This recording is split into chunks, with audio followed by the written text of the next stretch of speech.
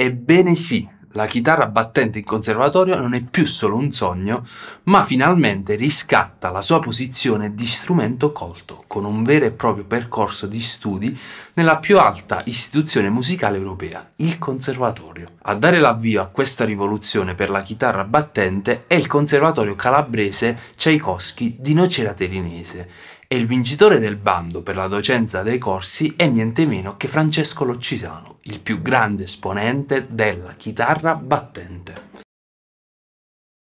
Il Conservatorio di Nocera Terinese è intitolato al celebre compositore russo del tardo romanticismo Tchaikovsky.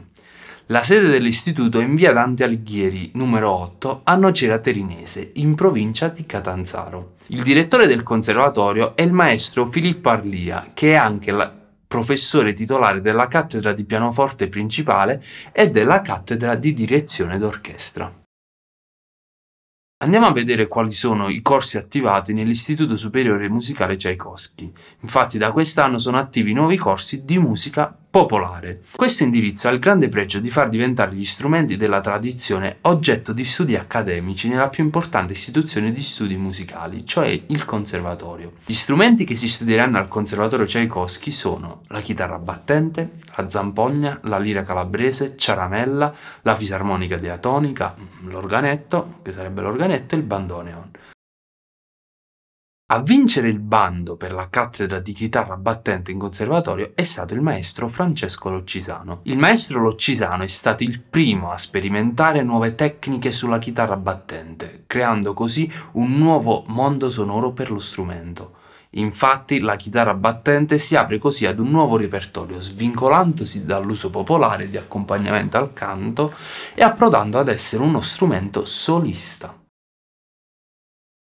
Credo ad oggi, senza peccare di presunzione, che io possa recensire il percorso didattico di Loccisano meglio di chiunque altro. Infatti ho studiato chitarra battente con lui per diversi anni. L'ho conosciuto nel 2014 e da allora, grazie a lui, la chitarra battente mi ha rapito, facendo diventare anche me un sognatore di chitarra battente. Poi il nostro rapporto didattico è mutato e da allievo sono diventato un suo collaboratore. Così abbiamo formato un duo di chitarra battenti, unico nel suo genere, formato da, da, ricchi colori e un'ampia gamma dinamica. Ma non solo, insieme abbiamo scritto la chitarra battente metodo basic, edito, edito da Fingerpicking, che è il primo metodo ad avvicinare tutti alla chitarra battente. Inoltre ai nuovi allievi, oltre al metodo base, potrà far utilizzare l'altro suo metodo, la chitarra battente, sempre edito da fingerpicking.net. Ti posso assicurare che l'Occisano non ha segreti, ti insegnerà tutte le sue tecniche e i suoi segreti, poi tocca a te farli fruttare al meglio.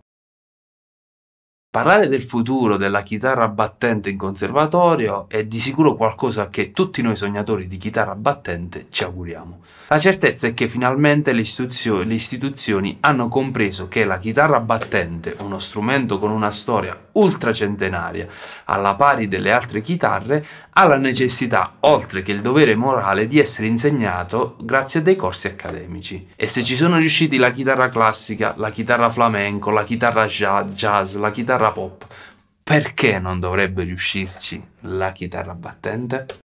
Grazie per l'attenzione, spero che anche tu diventerai un sognatore di chitarra battente, magari iscrivendoti al corso di Francesco Loccisano a Nocera Terinese e nel frattempo ti invito a seguire il mio sito www.marcellodecarolis.com iscriverti al mio canale YouTube seguire i miei social Facebook ed Instagram per restare sempre aggiornato su tutte quelle che sono le mie novità. Ciao e alla prossima sognatore di chitarra battente